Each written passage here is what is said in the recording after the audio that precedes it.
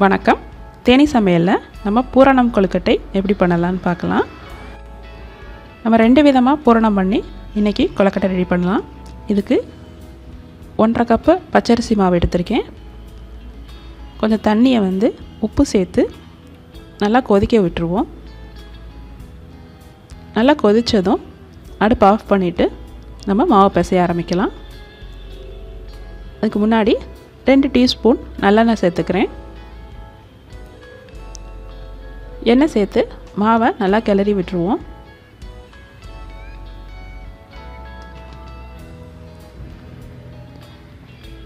இனி இதில் கொஞ்சம் கொஞ்சமாக சுடு தண்ணி ஊற்றி நம்ம பரட்டி விட்டுக்கிட்டே வரணும். நம்ம இடியாப்பத்துக்கெலாம் இந்த மாதிரி தான் பிசைவோம். அதே பக்குவத்தில் தான் நம்ம பிசையணும். ஒரே தான் தண்ணி ஊற்றிடாமல் நம்ம கொஞ்சம் கொஞ்சமாக ஊற்றி மாவெல்லாம் ஒன்று சேர்கிற வரையும் விட் இந்த மாதிரி கிட்டி விட்டுட்டே வரணும். மாவெல்லாம் ஒன்று சேர்ந்ததும் நம்ம ஆற விட்டுருவோம். இப்போ கை விட்டு நம்ம பிசைய முடியாது. மாவு காயாமல் இருக்கிறதுக்கு ஒரு ஈர துணியை வச்சு மூடி வச்சிடலாம். இல்லை ஒரு தட்டு போட்டு மூடி வச்சுருங்க. நம்ம கை பொறுக்கிற சூடு வந்ததும் அதுக்கப்புறமா நம்ம கை விட்டு நல்லா ஒன்று போல் மாவை பிசைஞ்சு வச்சுக்கிடலாம்.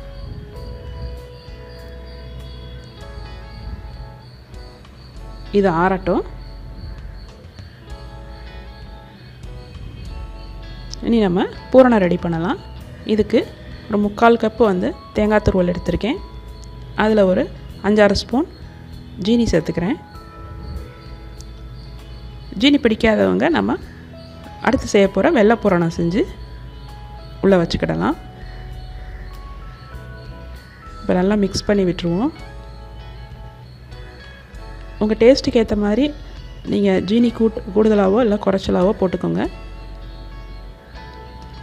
நல்லா மிக்ஸ் பண்ணி விட்டுட்டு இதோட கொஞ்சமாக வாசனைக்கு ஏலக்காய் தூள் சேர்த்துக்கிறேன். அதையும் நல்லா மிக்ஸ் பண்ணி விட்டுருங்க.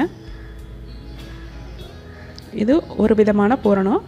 இனி நம்ம ஜீனிக்கு பதிலாக வெல்லம் சேர்த்து எப்படி பண்ணலான்னு பார்க்கலாம். ஒரு பேனில் கொஞ்சமாக வெல்லம் போட்டுக்கோங்க. வெள்ளம் கொஞ்சமாக போட்டாலே போதும். அது கசியும் போது நிறைய ஆகிடும் அது உருக ஆரம்பித்ததும் நம்ம இதில் கொஞ்சமாக ஏலக்காய் தூள் துவிக்கலாம்.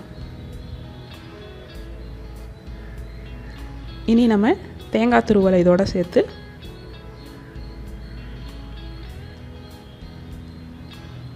நல்லா ஒன்று போல் மிக்ஸ் பண்ணி விட்டுடணும் தீயை லோ ஃப்ளேம்லேயே வச்சுக்கோங்க.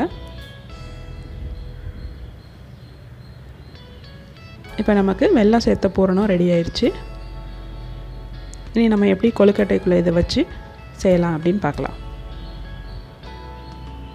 இனி மாவு வந்து ஆறிடுச்சு இப்போ ஒன்று போல் கைவிட்டு பிசைஞ்சுக்கிடுவோம்.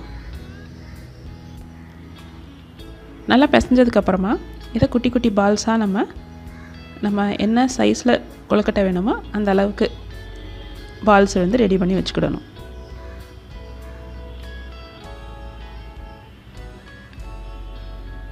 இனி இதை நம்ம தட்டி உள்ளே பூரணை வச்சு மடித்து கொழுக்கட்டை ரெடி பண்ணலாம். இனி எப்படி தட்டலான்னு பார்க்கலாம். இதுக்கு ஒரு துணியில் ஒரு ஓரத்தில் நம்ம மாவை எடுத்து ஒட்டுச்சுன்னா கொஞ்சமாக எண்ணெய் தொட்டு அதை நல்லா ஃப்ளாட்டாக தட்டிக்கலாம். ரொம்ப தின்னாகவும் தட்டிடக்கூடாது ரொம்ப திக்காகவும் இருக்கக்கூடாது.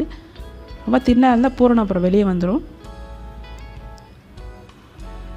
இனி இதில் ஒரு ஸ்பூன் இல்லைன்னா ஒன்றரை ஸ்பூன் பூரணம் வச்சு அந்த கார்னரோடு சேர்த்து நம்ம மடித்து அந்த எட்ஜஸ்லாம் வந்து ஒன்று போல் ப்ரெஸ் பண்ணி விட்டுறணும்.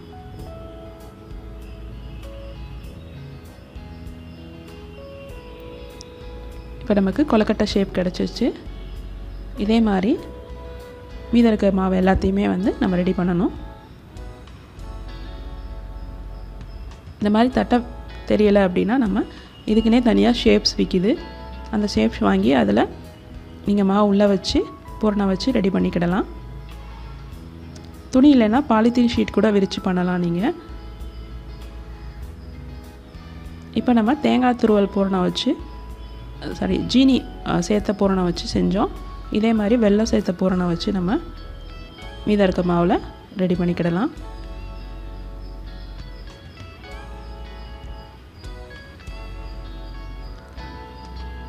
வெள்ளம் வந்து கொஞ்சம் கசிய ஆரம்பிக்கும்.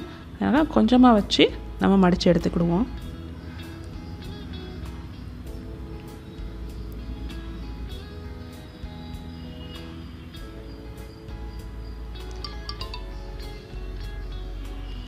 இனி நம்ம ஒரு ஸ்டீமர்லேயோ இல்லை இட்லி பானையிலையோ நம்ம நம்ம செஞ்சு வச்சுருக்க ஷேப் எல்லாத்தையும் வச்சு வேக வைக்கலாம். இதுக்கு ஒரு ஸ்டீமரில் நம்ம ஈர துணி போட்டு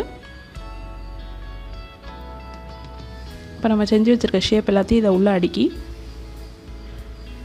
இந்த துணியை வச்சு மூடிடலாம். இல்லாட்டினா நீராவி அதில் வடிஞ்சு கொலக்கட்டை பிசு பிசுன்னு ஆகிடும்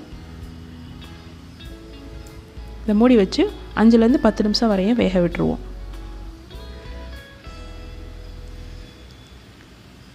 இப்போ நல்லா வெந்துருச்சு.